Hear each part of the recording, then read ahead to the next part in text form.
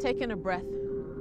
Feel the cold chill gather in your chest. Stretch your muscles, switch your pace. You were made for this. Brick by brick, every hardship made you stronger. Heartbeat strong like 808. Heartbeat strong like a mother's prayers. Heartbeat strong like a seed that raises its fist until it finds the sun. Heartbeat strong like heartbreak.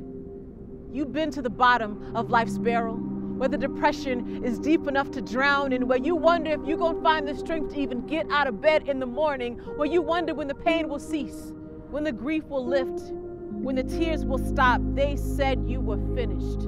They said nobody comes back from that, but you still here carrying the scars of a survivor, breathing in this morning's new mercies. You know these breaths are opportunities, these breaths are second chances, these breaths are a reminder that the breath you got is heaving in the very lungs of God. So push. When your voice is shaky, when all you want to do is cry, when it all falls apart, push.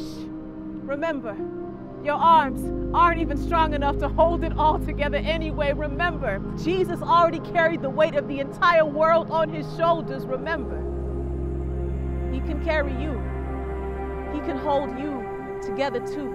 So find your stride. Set your eyes on the goal for the good, for the love, for the glory. Never fold.